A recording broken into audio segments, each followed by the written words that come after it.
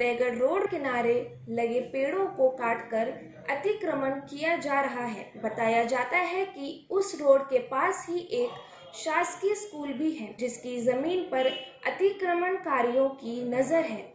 वहीं एक रहवासी ने बताया कि इन सब के पीछे एक व्यक्ति का हाथ है, जो शासकीय भूमि पर अतिक्रमण कराकर गरीब लोगों को बेच देता है।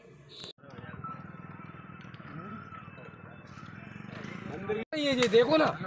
कल भी रट चढ़ गए थे चल गए थे यहाँ पर। कोई ने कुछ नहीं किया। है?